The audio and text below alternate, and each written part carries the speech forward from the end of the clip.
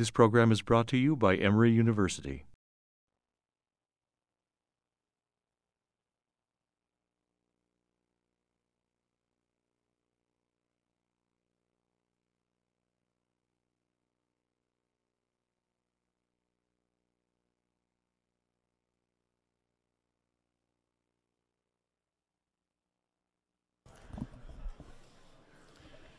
Ladies and gentlemen, good morning. Uh, welcome back to so many of you that were kind enough to be with us last evening. A warm welcome to those of you that were snarled up in traffic getting here or delayed by our first and three month rainfall last evening. It's wonderful, wonderful to have you all back. Uh, welcome to this Silver Anniversary Conference. Uh, my role today is just a bit of a traffic cop role. I'd like to, as you get seated, address a couple of logistical details. Number one, would you be so kind as to turn off your cell phones so that when somebody's in the middle of his or her aria, a cell phone does not interrupt that? And secondly, we have a full house projected, and in this first session, I think we're fine, but in the course of the day, could we apply the Disney ride rules, which is please occupy all of the seats beside you and the wall so that we can get everybody crowded in. It's my pleasure to turn the chairing duties of this first session over to the founding director of the Law and Religion Center, Professor Frank Alexander.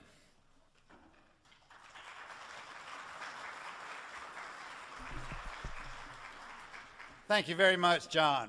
And thank you all for being here to celebrate with us what we have been involved in for the past 25 years, what some of you have been involved in for 50 or more years. The goal is not just to celebrate what we have been involved in, however, is to wrestle with the questions of what is going to be on the table for the next 25 years. It's the Silver to Gold Conference. What will, what will be the challenging issues and questions as we look out in the horizon for the next 25 years? And that indeed is the first, the topic of this first session the future of law and religion. Is we intentionally did this to set the stage for these two days of discussions. We have three of the most distinguished uh, scholars, professors in the world addressing this topic today. Our first speaker is not with us this morning physically. In 1974, a young law professor who had been teaching legal history and contracts and international law, who had been teaching Soviet law, wrote a little book called The Interaction of Law and Religion. Gave a series of lectures and published it in that title in 1974. He shared copies of that text with his colleagues on the law school faculty, but none of them acknowledged receiving it. Not many law professors in the country in 1974 were willing to talk about law and religion. But in that little text, in that group of essays, this scholar said law and religion intersect, interact in many ways. They are common elements of the traditions. They share an emphasis on ritual, tradition, universality, and authority. That little book was read, perhaps not by law professors, but it was read by students. It was read by practicing attorneys. It was read by persons of faith across the religious traditions who said, Now I can see this book is speaking to the interaction of the disciplines. For a whole generation of folks coming out of the 60s and early 70s who indeed believed in the possibility of a better world, a more just society, the interaction of law and religion provided that opening door. Now, that individual we were able to entice a few years later in 1985 to come to Emory Law School as the first Robert Wood Woodruff Professor of the university. Harold Joseph Berman joined us in 1985 and became both the foundation and the pillar of our law and religion program. Unfortunately, Hal Berman's body is weak this morning. He is at home recovering from illness in New York City. His mind is as sharp as ever, and he will be listening and observing these entire proceedings with us. His formal address is, has been presented and provided to you at the back of this book entitled Law and Religion in the Age of the Holy Spirit. So, all of you have the copy of his full address. But I would now like to take a few moments, seven or eight minutes, to share with you some reflections on the future of law and religion of our dear friend and mentor, Hal Berman.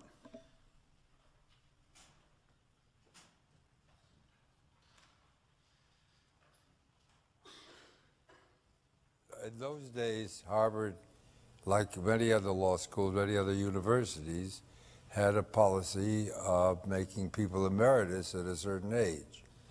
And at Harvard, you could stay on maximum to the age of 70, and then you could no longer teach.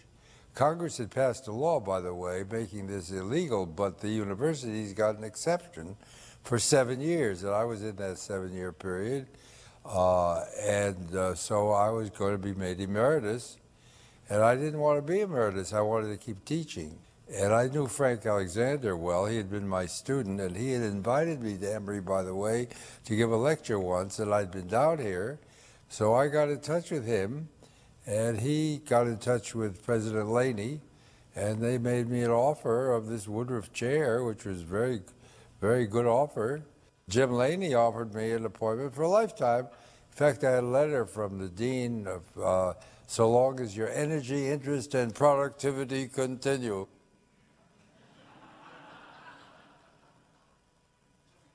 I want to tell you, in those days, religion was a sort of taboo subject in the law schools. It was just of no interest. Indeed, today, it's not of major interest in most law schools. There are a few, like Emory, which recognize its importance. Every legal system rests on a belief system, and uh, what is what's been called civil religions. We believe in what? We believe in democracy or freedom with the same passion that in uh, religious circles people believe in God.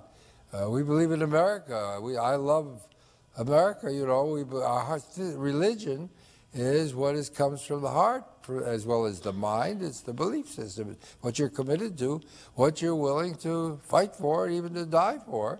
So we have deep in our tradition and deep in our constitutional law this concept of belief underlying legal rules. But most of the courses teach legal rules, uh, which and they're viewed from a political, from a policy orientation. What does the legislature want to accomplish by this rule? And not where did this rule come from uh, historically and morally.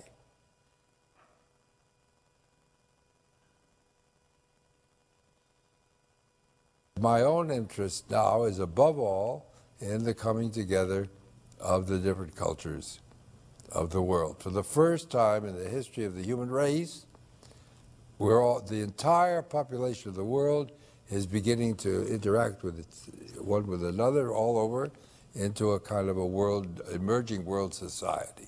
We have a world economy, uh, we are developing a world society with a world law. And as we're concerned with that, we have to look at the different belief systems which underlie these various cultures. Perhaps instead of talking about religions, we should talk about spiritual values and common spiritual values and different spiritual values, differences and similarities. Two defects which I attribute to American legal education the lack of a historical perspective and the lack of a, let's call it a universal or a comparative perspective are very detrimental uh, in preparation, preparing people for practice. If you go into a law firm today, in the first place, you have clients in all countries, and they, I mean, it's amazing the extent to which multinational legal practice, and the law firms have to train the law school graduates in multinational legal practice because they don't get it in law school. You're a better lawyer if you have a historical perspective. I think all the all the legal practitioners would agree. It's just the law schools that don't recognize the law professors who are each in his own way propounding his own uh, legal perspective, uh, which is not historical. My perspective is that we are undergoing a fundamental millennial change. We're changing from the, I like to say, from the second millennium of the Christian era to the third. And we're now in a new thousand year period or hundred century period uh, of history where everything, now the world is a new world. In, in my lifetime, it all happened. I can't believe it. When I grew up, you know, we looked at England when we studied law. Well, I went pretty far. I started studying French and German law. Then I suddenly had to realize there's also Russia, you know, and I had to become a Russian specialist. And then China, I've just been invited to China. I mean, it's been enormous transformation in my lifetime. We had two world wars. Uh, we're all in touch with each other with these computers and these emails and these air travel and so forth. It's, this has all happened in my lifetime. Uh, and I think it's helpful to youth to tell them that. Uh, I think they need to hear it because they grew up not knowing anything about the past. In my experience, I'm amazed uh, at, how, at, the, at the consequences of a lack of a historical perspective. Legal education could help to bring the world together through the world economy, through world sports, through human rights, through all it, through intellectual property, which is becoming more and more universal. We're told that there once were only 20,000 people in the whole world, in Africa mostly. They've spread little by little. They traveled over thousands and thousands and thousands of years, and they filled the whole earth, and now we're all in touch with each other everywhere. And I think this is providential, and I think we have to find now common spiritual values to hold us together, or we may destroy each other with our nuclear weapons. And I think we've got to go back to human nature, the common features, common spiritual values, if we're going to give a legal foundation to this new world society, economy and this new world society that's emerging, uh, which someday will become a world, I hope, a world community. It's going to take generations and centuries before this world, emerging world society, develops finally into a world community. And we have to avoid, above all, uh, the dangers to this, to, which are the destruction of, of the human race, which is a possibility. Uh, this is we're up, we're faced with this incredible choice between the self-destruction of the human race and the coming together of all these cultures. Uh, and law can play a particularly vital role, and that's my world law. I was not, quote, the father uh, unquote. I'm the father of four children, but I'm not the father of any discipline. Please join me in expressing appreciation to Hal Berman.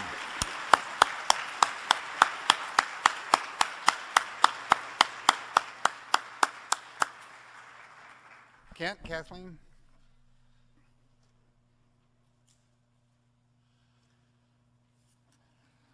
Both Brother John Witte and I uh, uh seek to visit with Hal Berman on a regular basis in New York City, and John will be delivering these entire proceedings um, to Hal in Brooklyn next week.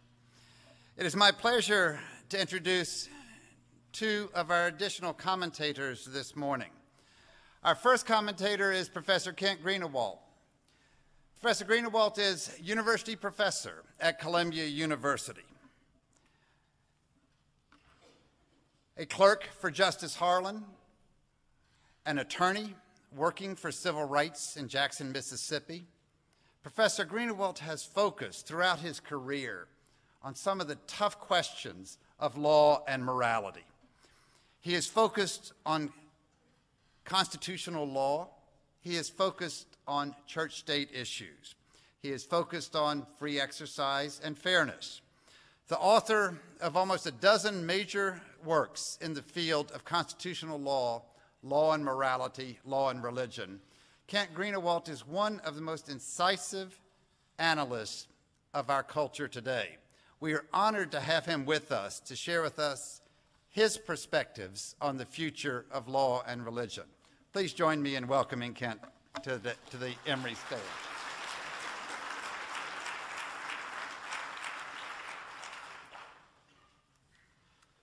Well, thank you, Frank. It's wonderful to be part of this celebration of the center, which has done such fantastic things in, in the 25 years uh, of its being.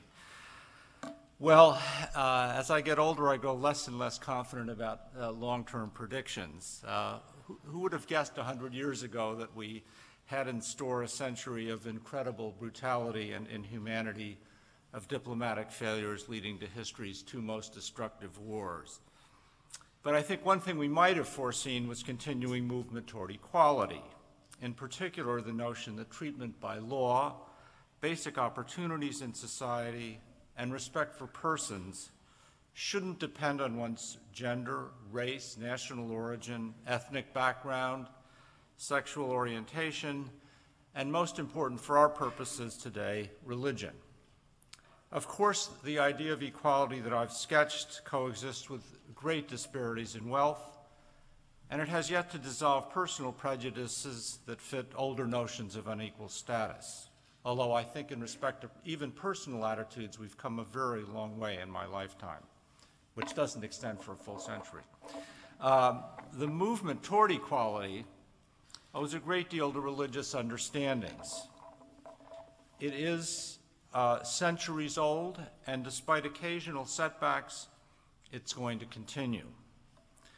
What it will signify for the law's treatment of religion is harder to say, and this morning I'd like to reflect on some of the conundrums of that topic for the United States, both possibilities and sensible resolutions.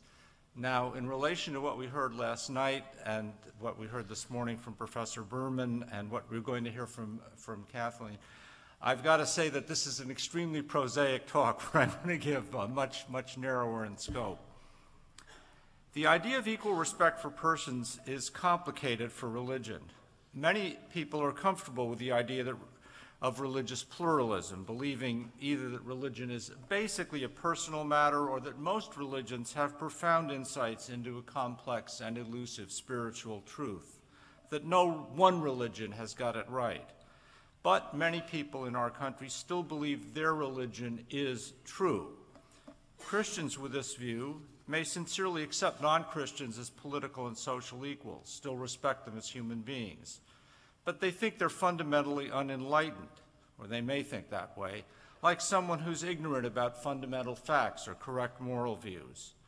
Now, non-Christians on the receiving end of messages that they are lost unless they recognize Jesus as their Savior often don't feel that they're being regarded as equals, whatever the person with that attitude may think.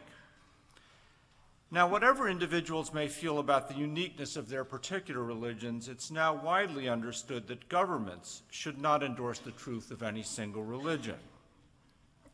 Following reform of our discriminatory immigration policies, a large percentage of immigrants now come from Asia and the already substantial number of Muslims, Hindus, and Buddhists is going to continue to rise. Equality among religions and among citizens of diverse religious origins fits this pluralism well. This equality of religious points of view, at least for the government, is one facet of broader egalitarian developments in the realm of ideas. According to the modern law of free speech, when a government establishes a public forum, it cannot discriminate on the basis of viewpoint. It can't welcome support of keeping troops in Iraq and reject speech urging their withdrawal. During the last 50 years, more complex questions about equality of ideas and of personal convictions have emerged. If people believe they should behave in a certain way, should it matter whether their, religious, whether their reasons are religious or not religious? This issue is posed most starkly in the case of conscientious objection. Now, the scope of an exemption matters most during a draft, but it still retains importance as a basis for military personnel who become objectors during their term of service that they've signed up for. Now, during the Vietnam War, the Supreme Court made short work of the statute's requirements that an objection be based on grounds of religion invol involving belief in a supreme being. To oversimplify only a bit, it said that a person who does not believe in a supreme being can count as believing in a supreme being, and, that's, and that someone who is not religious in any standard sense can count as religious. The court strained the statute beyond recognition, but I believe the end result was right. Whether young men and women qualify as conscientious objectors should not depend on whether they are religious. Now, this conclusion raises the broader question whether it should ever matter for how religious, for how individuals are treated by the state, whether their reasons are religious. And should it ever matter whether organizations are religious? And what about messages the state conveys? Should religious messages be sharply distinguished from other kinds of messages? Does a sweeping version of equality, one that precludes not only distinctions among religions, but also legal distinctions between religion and other categories of connections, ideas, and organizations, does that kind of sweeping version of equality best fit the conditions of religious pluralism, including non-belief? Some scholars think so, but one wonders whether ceasing to treat religion as distinctive represents the most healthy regime for religious pluralism. I want to explore these questions briefly in terms of some special aspects of the law's treatment of religion. So let me start with government speech. When they speak for themselves, American governments may express all sorts of claims about both factual and normative matters.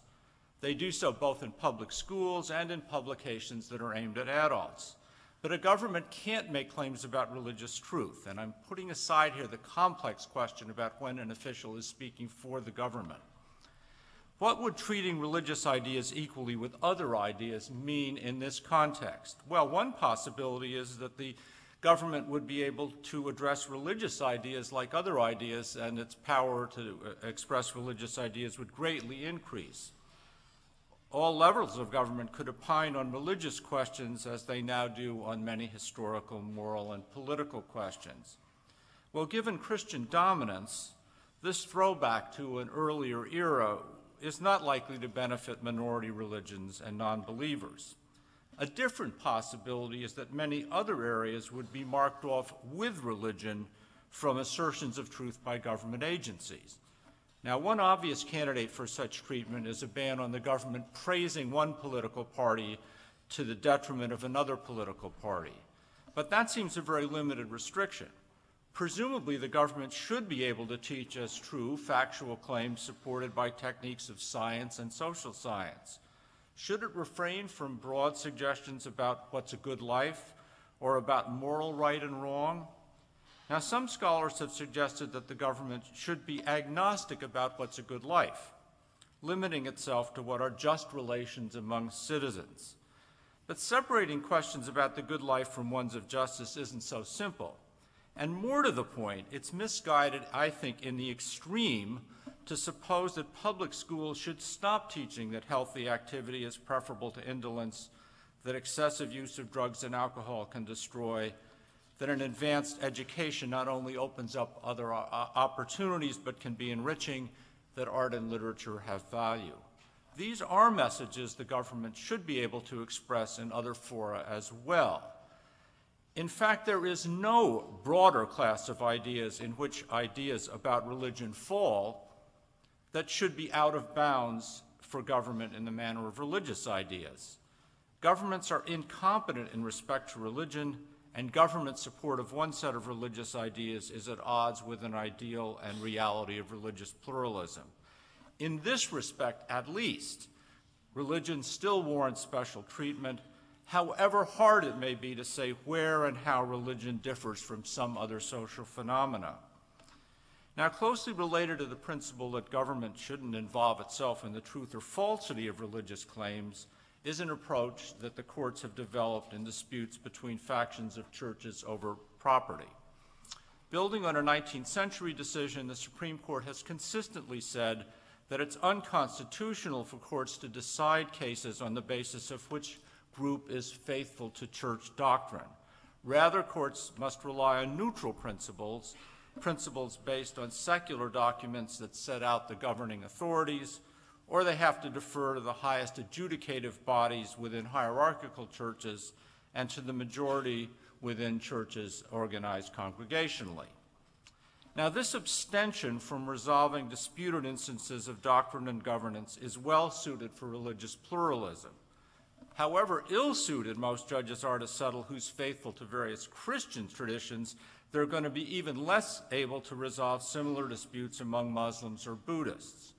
Groups are much better off having to get their own affairs in order according to secular documents than trusting the civil courts to sort things out. A second point is a bit more arguable. In respect to most other groups that are engaged in internal disputes over the control of property or resources, say trusts created to support modern art or cancer research, courts may play a more active role in deciding if one faction or a set of leaders has deviated too far from underlying purposes. Again, religion should be regarded as distinctive. One way to accommodate religious exercise is to allow people with religious reasons certain liberties that most other people are denied. During Prohibition, Roman Catholics and some other Christians wanted, needed to use wine for communion. Members of the Native American Church have needed to ingest peyote during worship in order to practice their religion. Some Amish communities have wished to withdraw their children early from standard schooling. And some Muslim parents have wanted their children free to pray vocally at some time during the school day. Granting legal concessions to religious practice can benefit minority groups, but there are some serious concerns. Concerns about tests of honesty, about assessments of burden on religion and of public need, and about unfairness to non religious citizens who have similar claims. First, honesty. If officials try to figure out whether someone's telling the truth, won't this work against unfamiliar minority religions? Members of a draft board may more easily understand a young Quaker who says he cannot fight than a member of an unfamiliar Eastern religion. The worry about honesty is not serious if a privilege is sought for all participants in a group activity or is one that few people would be tempted to lie about. Wine for communion qualifies on both counts. Only participants in a service get the wine, and no outsider, I think, would bother to participate in order to get that small sip. Uh, but when it comes to avoiding being sent away from one's home to a dangerous war one believes the country should never have embroiled itself in in the first place, that this has no reference to present conditions, uh, people may lie. Some test of sincerity is needed. Any such test may work somewhat to the disadvantage of the unfamiliar. But what's the alternative? In 1990, the Supreme Court abandoned an approach to religious exercise it had adopted 27 years earlier, the so-called compelling interest test. The court announced that the free exercise clause of the First Amendment conferred no privilege for special treatment on religious believers. Thus, a state law forbidding the use of peyote could be applied against members of the Native American Church. If religious believers have no privileges to be relieved of legal obligations, well, then no test of sincerity is required. But this alternative is hardly favorable to minority religions. Congress responded to the Smith case by adopting the Religious Freedom Restoration Act, reinstating the older approach by statute and some states have adopted similar laws. One might object that any such law is unfair to non believers, who also deserve respect, and I agree with this critique up to a point. Indeed, I think that equal treatment of non religious conscientious objectors should be a constitutional requirement. But there are many claims that people are highly unlikely to make for non religious reasons strong non religious convictions that one needs a small sip of wine in a group, or that one should withdraw one's children from school after eighth grade, or that one must not work on Saturday, are very rare. When the likelihood of similar non religious claims is very slight, or the danger of fraud is great, limiting exemptions to religious claimants makes good sense. Even more troubling than the questions about honesty are ones about the degree of burden on a religious practice and the strength of the government's interest in not granting an exemption. If a legislature grants a specific privilege, say to use peyote in worship services, well, then neither executive officials nor the courts have to delve into the practices of religion or try to figure out what the possible government interest in denying an exemption would be. But when courts apply a general standard like that of RFRA, they do need to make these difficult inquiries. I'm going to say only a little about the strength of the government's interest. Suppose a tax is imposed and religious citizens claim a right not to pay it, or members of a religion claim they should be able to build a church in an area zoned to be purely residential. If the government's interest in uniform application of the law is very great, as it is with most taxes, refusing to grant an exemption uh, is all right. How the test of government interest should be formulated and applied is difficult, but I'm going to focus instead on the burden for religious uh, individuals or groups. The government should not have to accommodate every trivial religious claim. If the member's interest in building a church in a forbidden area is that they can purchase property a little more cheaply, that is very different from an Orthodox Jewish congregation wanting to build near residences because their members must walk to worship services. How can administrators and courts possibly decide how important any particular activity is to a religious individual or congregation? And if officials make such judgments, isn't that likely to work to the disadvantage of misunderstood minority religions? Yes, it is very difficult, and majority uh, and minority religions may suffer by comparison. But again, what's the alternative? If courts make such judgments, judges should not decide which, uh, which religious activities are really important or how any particular religion should really be understood. They must judge importance as it's taken to be by members of the religion itself. If the legal issue involves the claim of a particular individual, say of a Jehovah's Witness not to work in a factory making war materials, a court should focus on the convictions of that individual, and that's what the Supreme Court has uh, done. If the claim is that a group should engage in activity, a court must do the best it can to discern how important the practice is for the members as a group. It should demand that an important religious practice be frustrated or that someone have a strong religious conviction that he perform an act that the government is discouraging. Now, just stating this inquiry shows how debatable the answer is going to be in many cases. Will it be harder for members of minorities to make their claims? Probably. A distaste for the unfamiliar may cause judges and other officials to underrate claims of burdens on religions they regard as bizarre. The obvious alternative is for courts and administrators not to make judgments about importance. This could mean rewarding any religious reasons, however trivial, but that's not a likely scenario that every trivial religion, uh, religious reason is going to get legal protection not making any accommodations, any accommodations to religion is far more likely. The result of the Smith decision reaches about the First Amendment. That regime would be worse for members of minority religions than a preliminary investigation about burden. But wait, there is yet another alternative, looking to see if a refusal to exempt involves discrimination. According to this view, the inquiry in a case like Smith should be whether members of the Native American Church suffered discrimination from the law that forbade use of peyote and did not make an exception for them. Now, one claimed advantage of this approach is precisely that it avoids questions of importance and government interest. You just look to see if there's discrimination. But unless the category of what counts as discrimination is very limited, this approach admits through the back door what it shuts out in front. Uh, here's what I mean. When the law itself is neutral on its face, allowing no one to use peyote, we could limit the idea of discrimination to circumstances in which the lawmakers intend to harm a religion or treat its members worse than other citizens.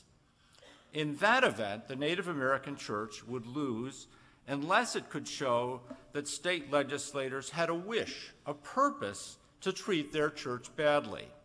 Now, that's usually a hard showing to make. The protection against discrimination would become robust only if it included what we might call reckless or negligent disregard of the interests of a religion.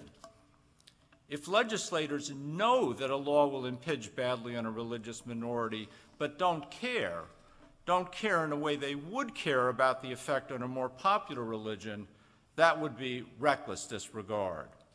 Negligent disregard is when legislators are unaware of such an effect, although they should be. Thus, the Native American Church could argue that legislators would never have adopted a law with such drastic negative effects on a mainstream religion.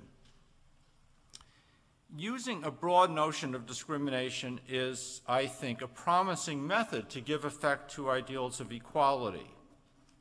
But we'd be fooling ourselves if we thought this was a way to avoid judgments either about burdens on religious practices or about the strength of government interests.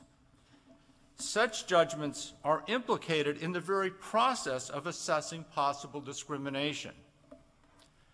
Judges will rarely know exactly what legislators were thinking when they did not make an exception from some general prohibition. So judges will need to think about what reasonable legislators would have had in mind. If the religious activity was trivial, or the government interest in stopping the activity across the board was very strong, a reasonable legislator would not write an exception into the statute. If the religious activity was very important and the government interest in stopping that particular manifestation of, of the prohibited action was slight, an astute, fair legislator would make an exception. Now, that's just what I believe is true about the use of peyote, uh, which is the center of the worship service of the Native American Church. But we can see that it's just our judgments about the importance to the religion and about the government interest that now underlie our judgment about discrimination. That's how these inquiries enter in the back door. I've thus far neglected a final topic that concerns the treatment of religion, deciding what counts as religious. If religion's going to receive special treatment, whether it is receiving a benefit or being subject to special restrictions, courts must be able to say whether a practice or claim is religious or not. Now, in most cases, that's going to be an easy decision, but sometimes it isn't. A definition of religion might itself work to the disadvantage of the unfamiliar. That would be obvious for the old definition in terms of relating to a supreme being, which the Supreme Court used a long time ago. My own view is that rather, starting, rather than starting from a typical definition, courts should identify characteristics of what are undoubtedly religions in the world and ask whether the disputed instance shares many of the same characteristics.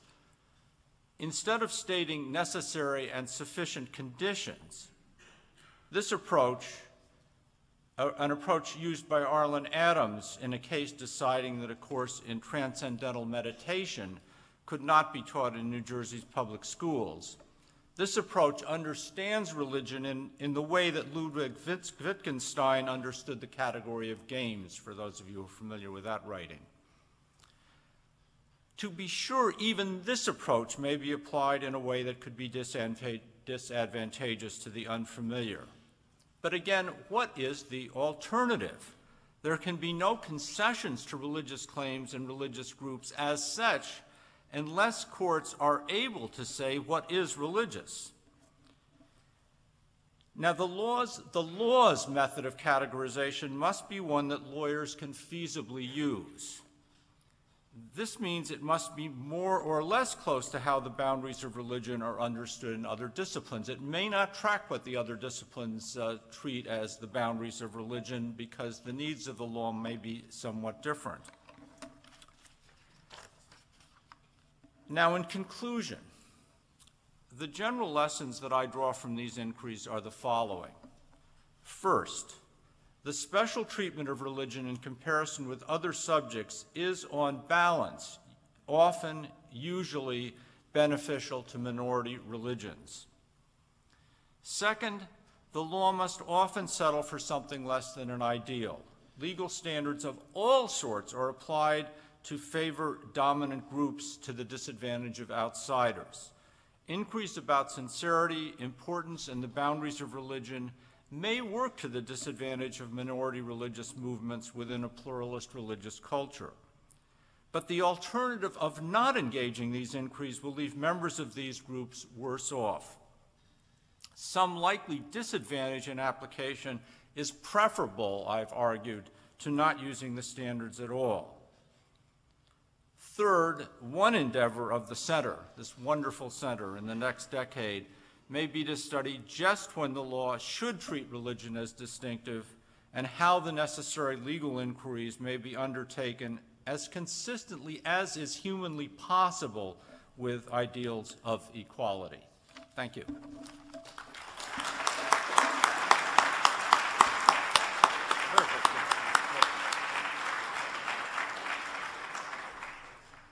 Thank you very much, Professor Greenawalt. I failed to mention as I opened the session that we will proceed with presentations by both professors, and then we'll have time for questions from the audience. Um, we've got, uh, we'll have time, 15, 20 minutes for questions after Professor Kaveny's address.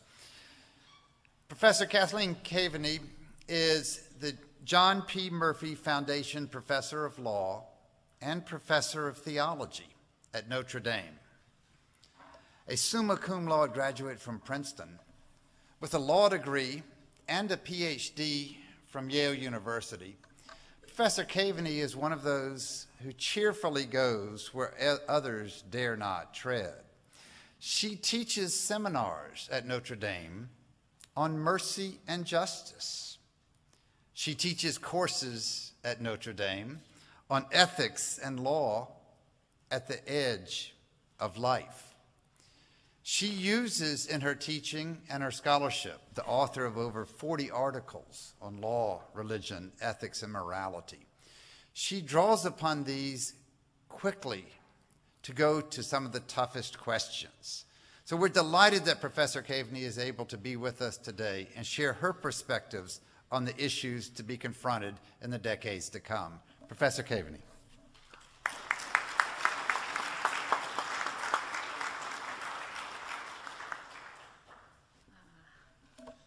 It's always a 50% chance whether there's going to be a podium that I can actually see over or not. Well, if you think of this introductory panel um, in theological terms, you might think of it as trying to embody the trinity of law and religion studies. We had the first piece, which was history in Professor Berman's work. We had the second piece, which is law in Professor Greenawalt's work. So I'm here to give you a missing piece, I think, which is a perspective on the relationship of law, or more broad, broadly, morality in law, in a pluralistic culture from the perspective of inside a religious tradition. So I'll be speaking to you today not primarily as a lawyer, but primarily as a Christian theologian, developing some of these themes that we need to think about from within the tradition. Theologians and lawyers aren't all that much different from one another in the work we actually do.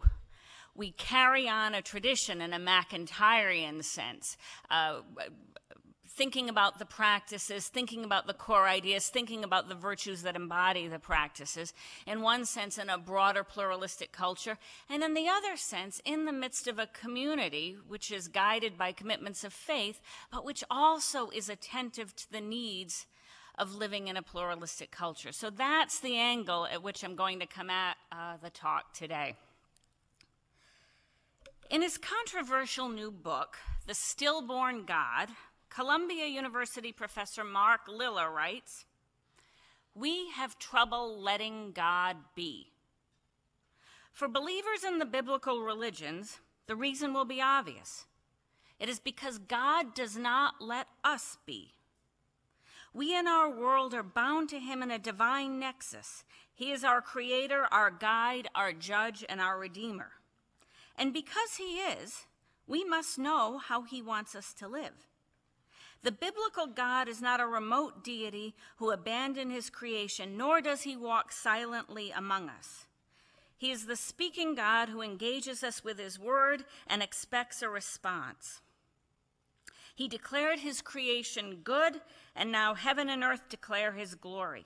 But he also left creation incomplete, so we would turn to him for the key to right living, the comprehensive law, the one thing needful.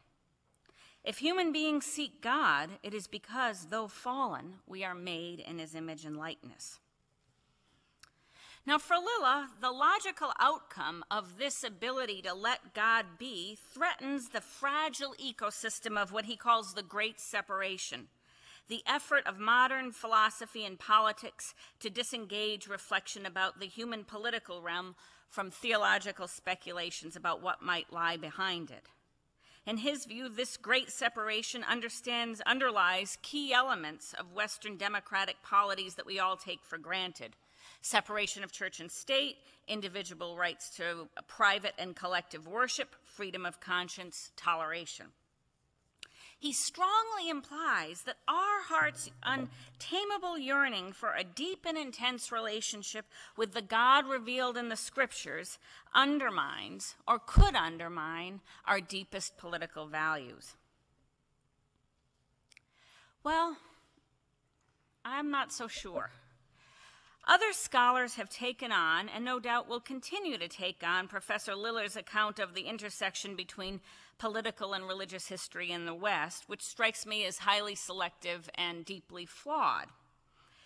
But if we read the stillborn God not as history, but as contemporary cultural commentary, it raises an important question about the state of religion and political life in the contemporary United States influenced as it is by the prophetic strand of biblical Protestantism.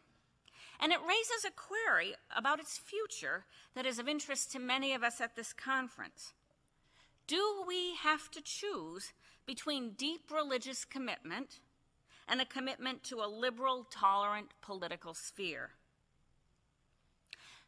Now, I believe that Professor Lilla is correct about the resurgence of interest among religious believers in a confident, full bodied participation in their spiritual and religious heritage.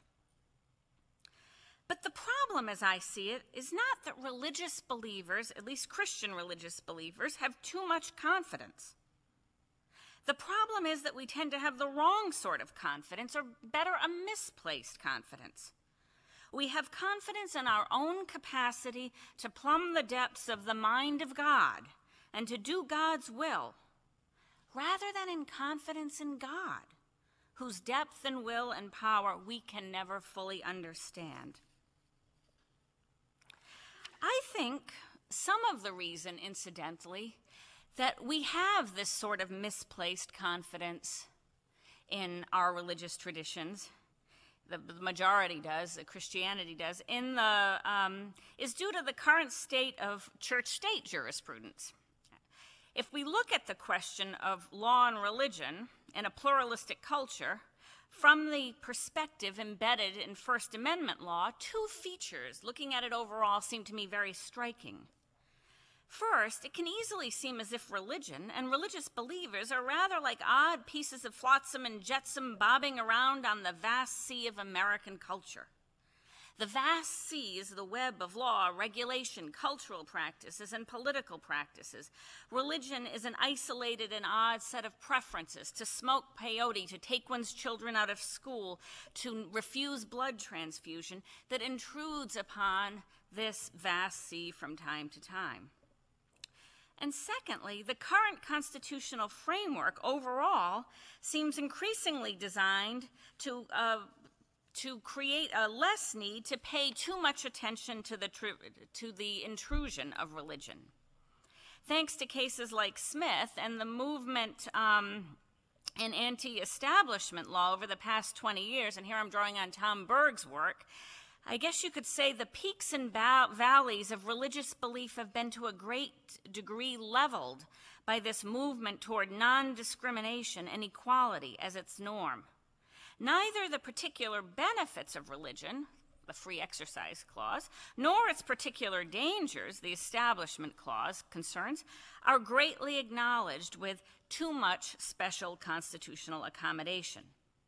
In this context, religious belief starts to become and starts to act like one more odd little special interest group to promote their own vision when in power and to protect their interests politically when out of power. It may seem adamant, for example, the meetings of the Family Research Council or Focus on the Family from time to time about promoting its interests, but it is no more adamant than organizations like the American Medical Association or the American Association of Retired Persons, or for that matter, and I guess important here, the ABA. So we seem to have a group that is adamant about protecting it, its interest in a political way. Maybe this is necessary, but it seems to me Christian believers need to be very wary about internalizing this picture. First, it makes religion too small. It becomes one more special political interest group active at one point in time in one small portion of the world rather than a comprehensive scheme for interpreting the whole of creation from the beginning of time to the end. Second, and this is more controversial, it functionally threatens to eliminate God from the picture. The term religion is from the Latin religare, which means to bind upon. What religious believers in the biblical tr- tradition are bound upon or bound to is God, whose reality spills beyond all finite frameworks for capturing divine existence. Existence. God in this system is simply the background sponsor for certain contentious judgments of law and policy. Thirdly, and consequently, it, engage, it encourages a misplaced certainty. To survive in the broad give and take of American politics, political action groups need to be adamant about what they want. And what they want is important because they want it, not because it truly accords with the common good. They are voters and they can deliver votes. God is not a voter. What is the remedy? First, I think religious believers need to look to their own traditions for ways to conceptualize their activities in the broader world in a way that takes account of pluralism. We need to look for, to the tradition for new resources to frame life in a pluralistic society. In the riches of a full bodied account of the role of believers acting in the world, consequently, we need to find some grounds for a little bit of humility. That humility, and I stress this, is not the same thing as relativism. It is grounded not in our uncertainty about God and the nature as the nature and source of all being, but in our own recognition that we are not capable of fully plumbing the depths of God's purposes. I would like to suggest that one avenue for Christian thinkers to consider in nurturing in their own communities the appropriate sort of confidence and humility, as well as more open attitude toward those who hold ideas different from their own, is by retrieving and renovating the idea, the old idea of the munus triplex, the triple work. The munus triplex is the articulation of the threefold work of Jesus Christ in the cosmos in terms of three roles firmly rooted in the Hebrew scriptures prophet, priest, and king. It is applied by extension to Christians who, with their baptismal charism, are called to a share in these functions as they live out their lives as members of the body of Christ. Now, these categories or, uh, uh, originated, uh, or the origination of the categories is often attributed to Eusebius of Caesarea, 269 to 339, who included it in his first major history of Christianity, written as the church was in the flush of success of being the new favorite religion of the empire. His development of the categories, it must be said, has distinct imperialistic overtones for precisely this reason. But it is important to note that Eusebius was not, in fact, the first to think about the role of Christ in these categories. They were implied, employed well before the church became entwined in the empire.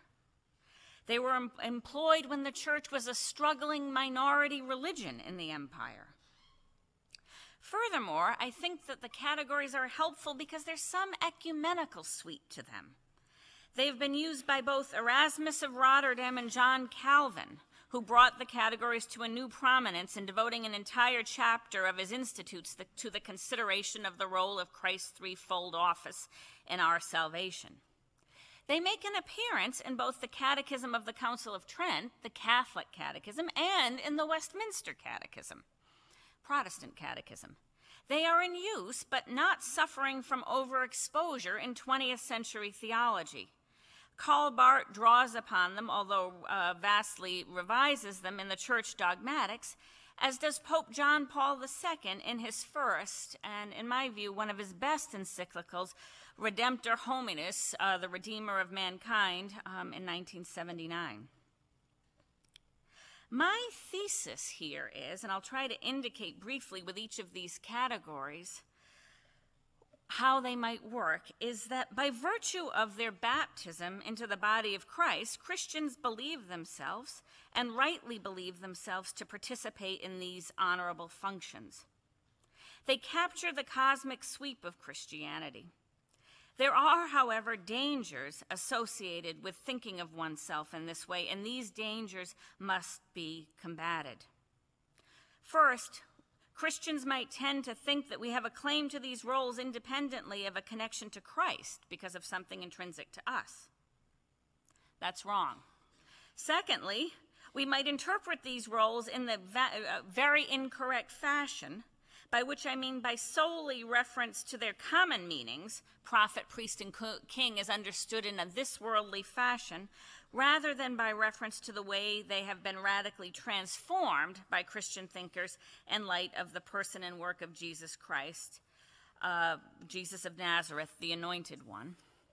And third, and this is the more controversial aspect of my paper, we might fail to realize that there is a great deal of work to be done in continuing to reinterpret these roles to help us take our place in a pluralistic cosmopolitan society. I think, in a nutshell, in the case of the first two roles that I'll discuss, the priest and the king, it is important to retrieve aspects of the broader tradition that have been particularly occluded by those invoking the category of the munus triplex, particularly in Christendom, the connection of the church and the state. But more work needs to be done in the case of the role of the prophet.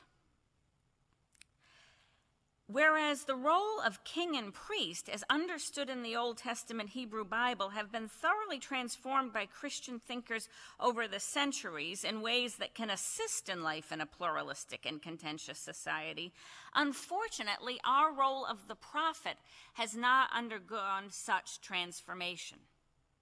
I will suggest that there are resources available within Scripture itself to take on this task, particularly the book of Jonah.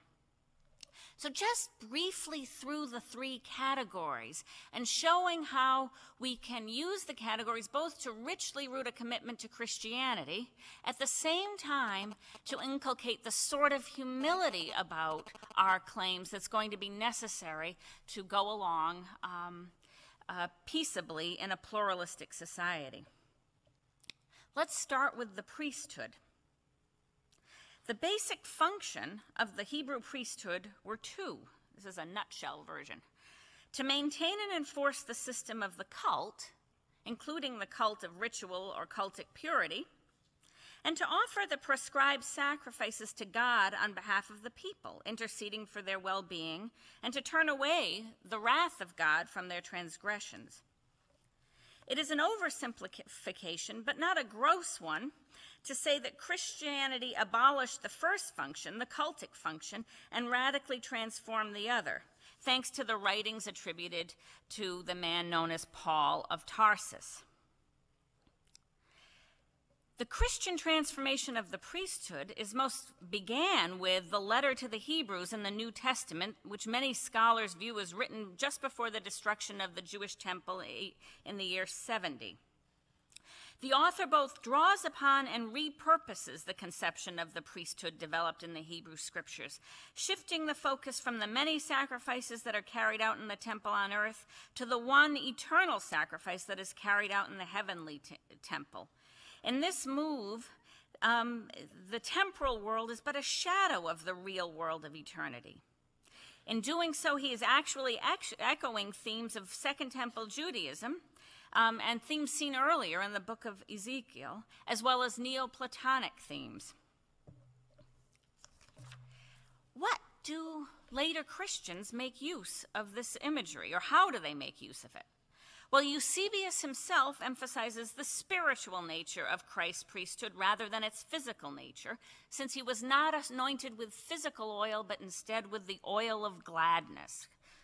Um, quoting from a psalm. Calvin stresses the unique efficacy of Christ's sacrifice. Lumen Gentium, the Catholic document uh, on the church from the Second Vatican Council, emphasizes Christ's role as high priest, which the laity ought to respond with the sacraments of uh, the Eucharist and penance, prayer and thanksgiving, witness of holy life, and self denial. It seems to me, looking at this as an overall uh, tradition, key aspects of this are very helpful for the role of Christians in a pluralistic society.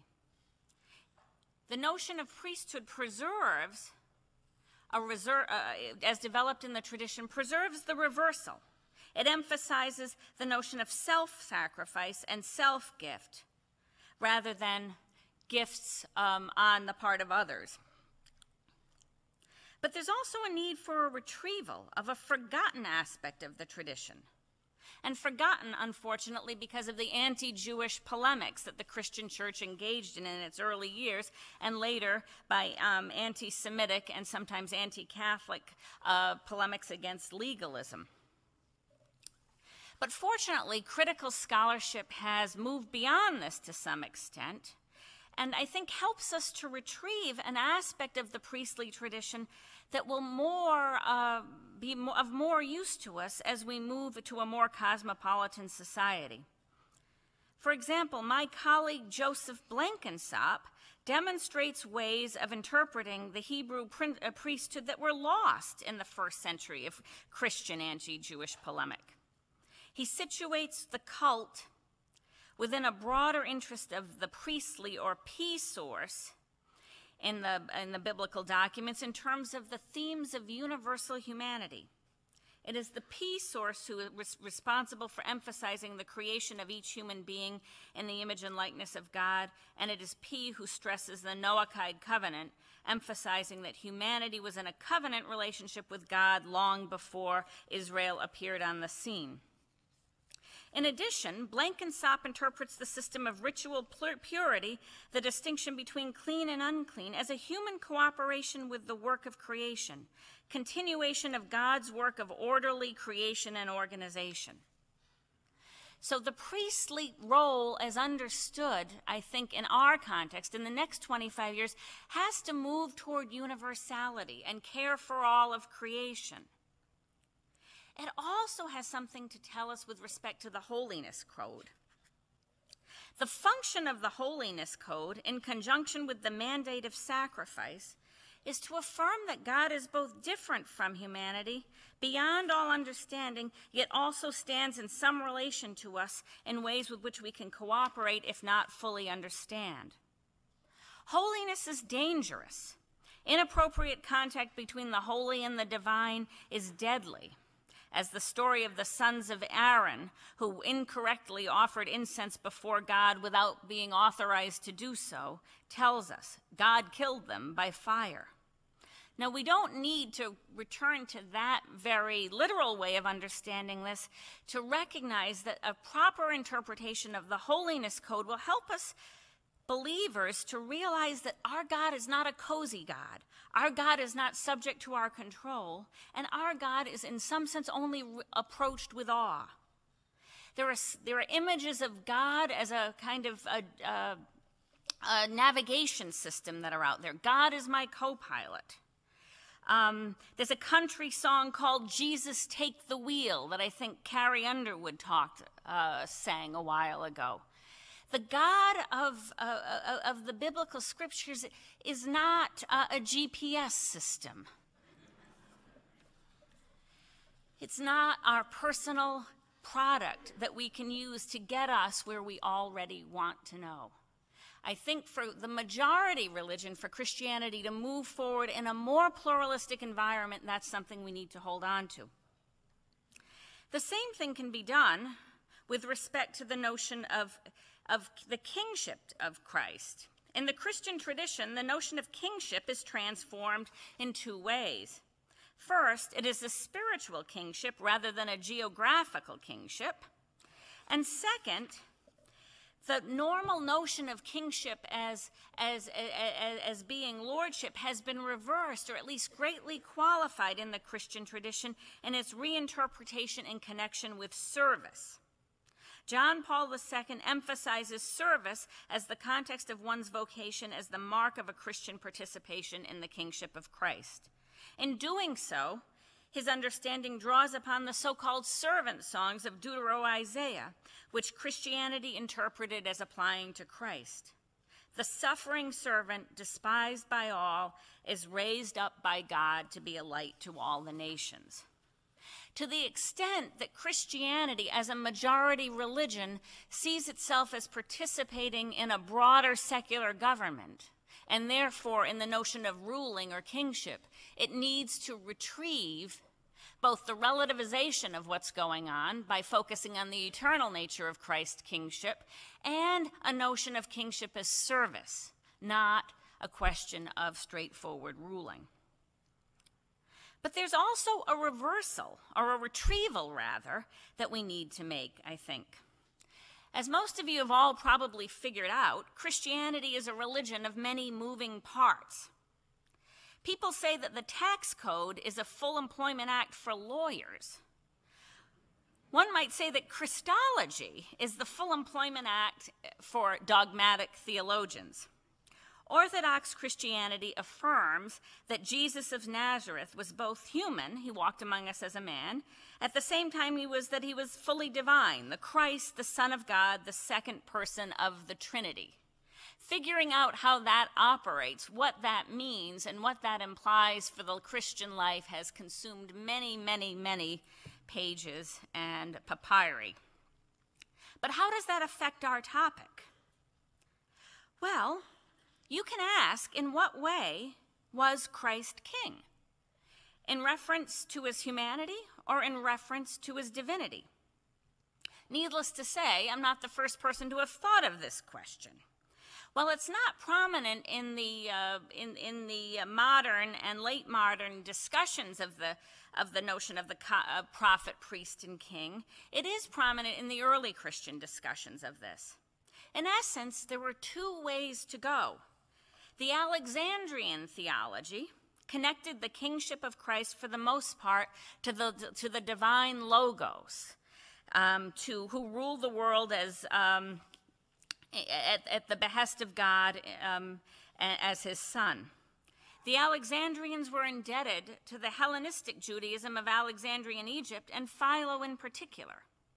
Christ in Clement of Alexandria and in Origen appears as the eternal logos of God, the power which by which God directs and reveals his law to the whole world and in which all things cohere. So in this Alexandrian tradition, the, the kingship of God is of Christ is associated with his universality, his role as the logos, as, as the ordering of the universe, which Christians identified with the second person of the Trinity. The Antiochian theology, however, did things a bit differently. In their tradition, the kingship of Christ was connected with his humanity, or with his human nature, from the moment in which that nature became united with the divine.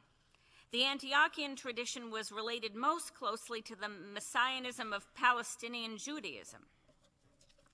So they saw Christ not as the eternal Logos as his role as king, but they saw the kingship of Christ as related to his particularity as the new David, as the king of the new Jerusalem, which would only fully be uh, inaugurated at the eschaton, not on this earth. Why should we retrieve these two abstruse ways of understanding the kingship of Christ in connection with his nature? Well, I think it will give us a new way of framing questions we've got now. Christianity now is deeply engaged with problems of universality, claiming to be the light of the world, claiming to be applicable to the whole planet, to every human being made in the image and likeness of God, and the particularity, the contingency of its own sources. One of the tasks in the next 25 years, I think, is to work better through, work through better the connection and the differences between understanding Christianity and its moral norms as the norms of a particular tradition. On the other hand, and on the other hand, understanding it as norms available, this is where the natural law tradition comes in, and in some sense accessible to all humanity. One more category, prophet. What is a prophet? As it turns out, this is a difficult question.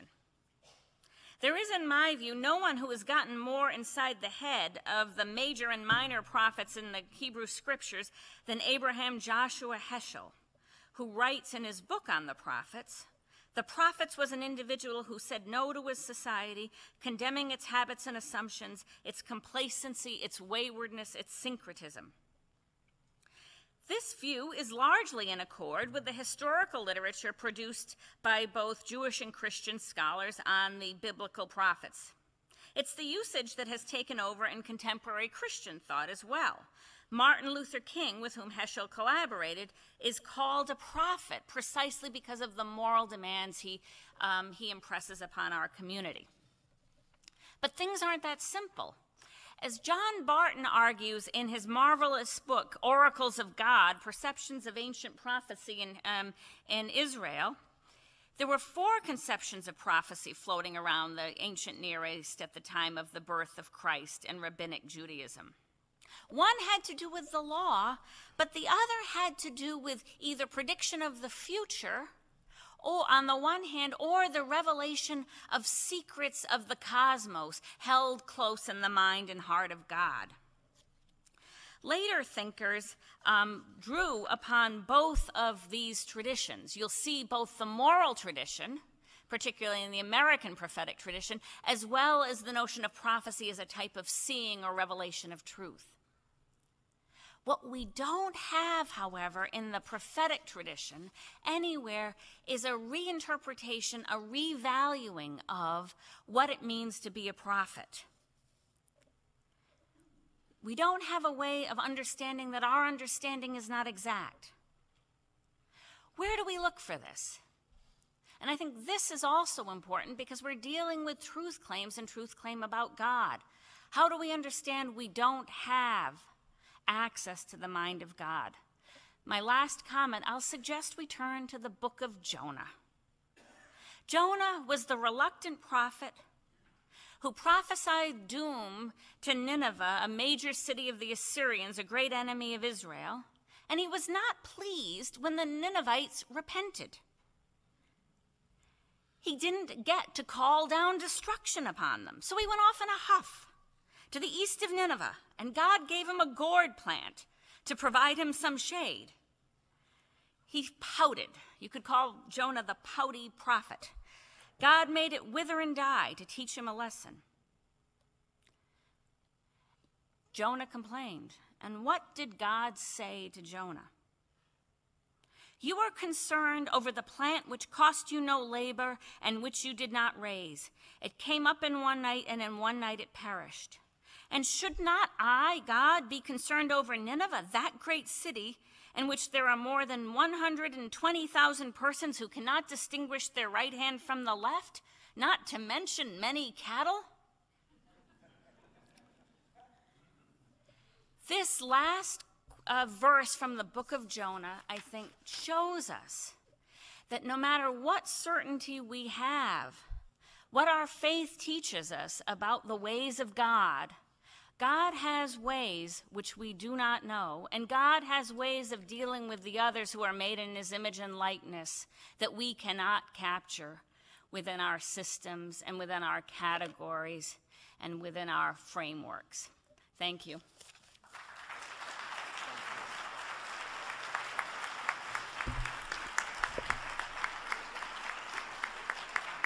Thank you, Professor Kaveny. Professor Kaveny and Professor Greenawalt have confronted the tough questions. They have identified the questions. They have suggested ways to respond and answer. They have both hit the theme of acknowledging the possibility of misplaced confidence, an epistemology of humility rather than hubris. But in so doing, they've invited all of us to engage in the dialogue. So now is the time we have a few moments for questions. I ask that you come, because we are recording the proceedings, come to the microphones we have set up. Um, and as you come forward, just share your name, uh, where you're coming from, and your question. I do ask that you try to keep your questions brief. We will have time throughout the next few days to ponder these issues. Are there questions? Yes. Scott Pryor from uh, Regent University Law School in Virginia Beach. I guess a question primarily for Professor Greenawalt, picking up with your conclusion where you, you acknowledge the, the difficulties, the challenges in defining religion for purposes of your discussion there. I wonder if we shouldn't place the burden equally on the law to define itself. In other words, why should we have uh, a burden on religion for definition and not on law, in fact, not on the political order to justify itself. Uh, political concepts such as equality are no more self-evident than some of the qualities associated normally with religion. Now, political choice theory would tell us, well, you know, we're not going to challenge, or the state that we have isn't going to challenge itself, its own very existence, but as scholars, shouldn't we be equally suspicious of all claims to political or uh, public virtue like equality as we are of religious claims with respect to issues like honesty. Uh, okay, so one question is what things should the law do as opposed to leaving not to law? Those are extremely important questions. Another question is um, uh, what, how authoritative should we take the law's assertions about what we should do and shouldn't do, and I don't think we should take them as uh, finally authoritative. Uh, I think there are certainly situations in which it's proper for people to disobey the law. But the question I was addressing is how in the law should, should religion be treated and the need to define religion for those purposes. I just think that's a totally different question. We have law. The law is going to treat many of these things one way or another. People are or are not going to be allowed to smoke peyote. Uh, and uh, the government is or is not going to make claims about religious truth. And there is a question about how the law is uh, going to uh, treat these things. And I don't think these questions about what the status of law is uh, uh, in some deep sense um, are relevant. Well, and maybe I can just follow up. If we had a lot less law, there'd be a lot fewer problems. In other words, if there were no laws against the ingestion of peyote in the first place, well, then the question of equal treatment would never arise. So perhaps we should question the extent to which we look to law to order society amid humility about the powers of the political realm and just retreat, generally speaking, from a legalized society, thus opening the opportunities for equality to develop or perhaps not develop and take our chances. Well, that's certainly legitimate. So, so that's the question. But the, what I said as the first question in response to your question was what, what the range of law should be. And yes, it's certainly true that if we thought the range of law should be much less than it is now, that would take care of some of these problems. It might also, let's say, one area would be discrimination on religious, no discrimination on religious grounds. Of course, if the law withdrew from that, uh, that would be less desirable from the standpoint of equal treatment of people regardless of religion, but one might think would be justified uh, on other grounds. So that, that certainly is, uh, uh, th those certainly are important questions uh, about what the function of law should be. Are there other questions? Hi, um, I'm Fred Jonassen. I teach at the Barry University School of Law. Uh, Professor Greenawalt, um, uh, if I understood your uh, talk, um, uh, you said that, uh, or I, I, think suggested that when a court makes a decision about accommodation for a religion, that on balance, it's better for minority religions for the court to take up issues of the importance of the particular practice or belief that would be burdened. Uh, on balance, that would be better than not. And I'm just wondering, uh, would this also be a problem for majority religions or, uh, and indeed any religion where there's a disagreement within the religion about uh, a given practice or a given belief that might have a burden placed on it by uh, uh, a general law?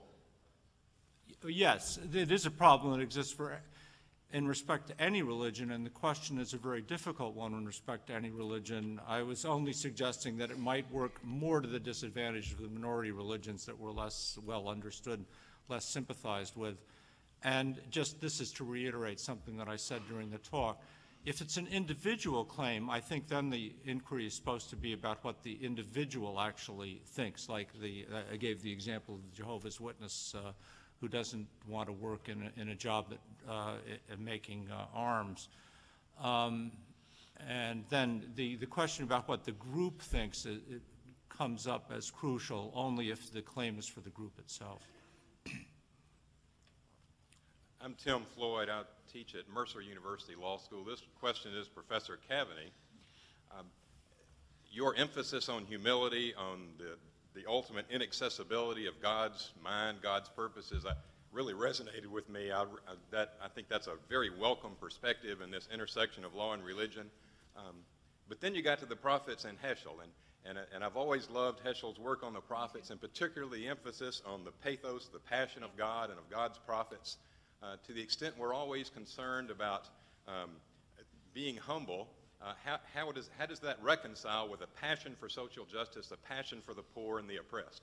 Very good question. Um, and I'm sorry, uh, I, I, always, that, that, was probably in a sense the most important part of the talk, but it was last. And you know, when you only have 25 minutes, you can violate the big natural law commandment, which is thou shalt not go over time. And I didn't want to do that.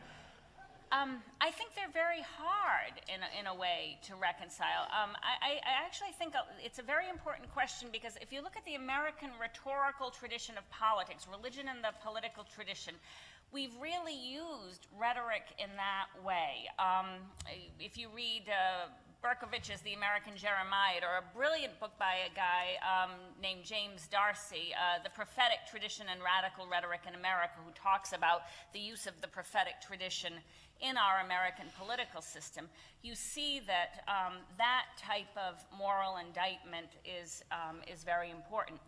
I think where the humility comes in is in recognizing the danger of that type of speech and in not using it inappropriately. I've argued elsewhere that prophecy is what I call moral chemotherapy. It, it, it goes after the, the, the, sort of the cancerous elements in our, uh, in our moral discourse. Our normal moral discourse isn't prophetic. It's normal moral reasoning backed by whatever theory you happen to read. It's almost like case law, casuistry. Uh, prophetic rhetoric is appropriately used to go after fundamental threats to the integrity of that rhetoric, such as slavery was, for example, the denial of the equal dignity of a human being. I think we need to come up with an ethics of prophetic discourse, and that's what I'm trying to work on now, which talks about when it's appropriate to invoke that uh, rhetoric and when it's not. The cost of invoking that rhetoric is tremendous. Um, I think of the prophetic rhetoric that's been around, it's it actually rooted in the Catholic tradition, but it's got wide sway now the culture of life versus the culture of death. Once you call somebody the culture of death, there's really nowhere for the conversation to go. it's, you're pretty much done talking. And I'm not saying that that's not appropriate at certain points in time, but you have to realize how this is going to be used. I sometimes think it's used inappropriately and without counting the cost. So the, the humility comes in in the recognition of the power and the danger of prophetic rhetoric and the sense that you might not have it entirely right. Thank you. Another question over here. Uh, I'm Elliot Dorff. I teach philosophy at the American Jewish University in Los Angeles. Um, this is for Professor Kaveny. I very much, as a religious Jew, I'm actually a conservative rabbi, very much resonated with uh, your description of some of the meanings of religion that it's very difficult for a secular legal system to capture. Um, well, in, uh, but what, do you, what would you do with the fact that we live in a really multicultural society? Um, there was a survey by the Los Angeles Times in, uh, which indicated that at Hollywood High School there are 70 different native languages among the students of Hollywood High School, right? And um, being on the Pacific Rim, we've got, I mean, it's the new Ellis Island. We've got people from all over the Pacific and not just the Western religions. Um, so in that kind of context, the meaning of religion could be very different than it was for you in your presentation or for me if I were to give a similar presentation. And then I'm also concerned about what Professor Greenawalt was talking about. What about secular Americans, avowedly secular Americans, who nevertheless have a conscience and who might want to make, um, make claims against the law based upon that conscience? What would you do with that? Okay, I think there are sort of two separate issues here. Uh, I mean, some people talk about the backlash of the religious right against the, the, the secular left, um, you know, as something that's taken place since the 2000 election. I, I, mean, I think there's some truth to that. And one of the, the, the sort of motivating forces, I think, behind that is the sense that religious believers can't speak in their own language, or that people don't want religious believers to speak in their own language in the public square. I understand that, but what I'm trying to do is call religious traditions to articulate not a view from nowhere, some sort of homogenized view of religion and the worth of other people, and you know that, that's, that, that every tradition is going to accommodate.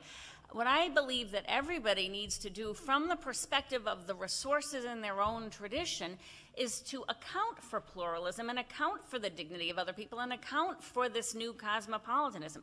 This can be tough sometimes, and I, you know, I don't know all the ins and outs of it, but you know, for example, many of you maybe know of. There's a theologian called Peter Phan who's at Georgetown who uh, you know was trying to develop a, a notion of Christ th- that will be open to sort of the Buddhist cultures that will interact with that. Now that's obviously going to be dogmatically very challenging, but work of that sort needs to be done. Maybe you know the Vatican is not terribly happy with the way he's done it, but you know this is the kind of work we each need to do from our own perspective.